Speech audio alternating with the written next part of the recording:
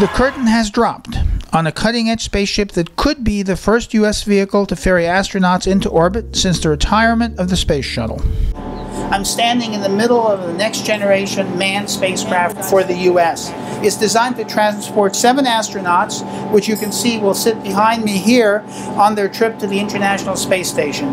It's called the Dragon version 2 and built by SpaceX, a company that has already proven itself transporting cargo to the International Space Station.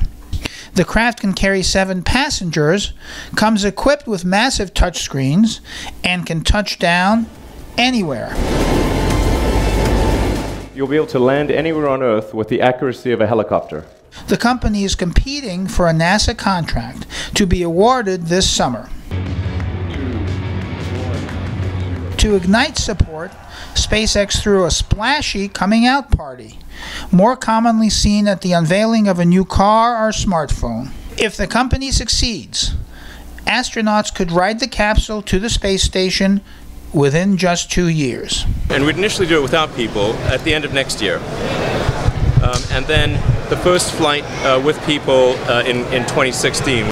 This comes as frigid relations with Russia jeopardize American astronauts' access to the space station, currently only reachable by Russian rockets.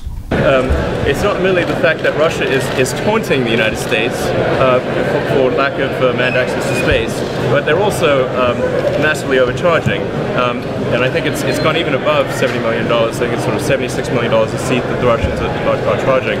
Um, the, the, the, quote that we provided uh, NASA uh, would allow the, the cost per astronaut to be potentially less than $20 million.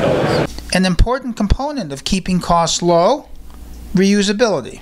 I mean, what really matters in terms of the, the reusable elements of a, of a vehicle uh, is, is that it has to be rapid and complete. Uh, so we, we, want this to be able to fly same day, so it should be able to arrive and depart the same day. But after a certain number of flights, the capsule will need a new heat shield. This, this can take more heat than any other material that anyone knows about.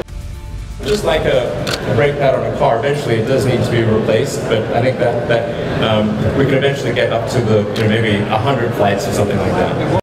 For SpaceX founder and CEO Elon Musk, the goal is more ambitious. He talks about America eventually colonizing Mars. We're trying to make space accessible to, to everyone. Uh, we want to we want it to be such that if you want to go to, to orbit or beyond, um, that you can do so.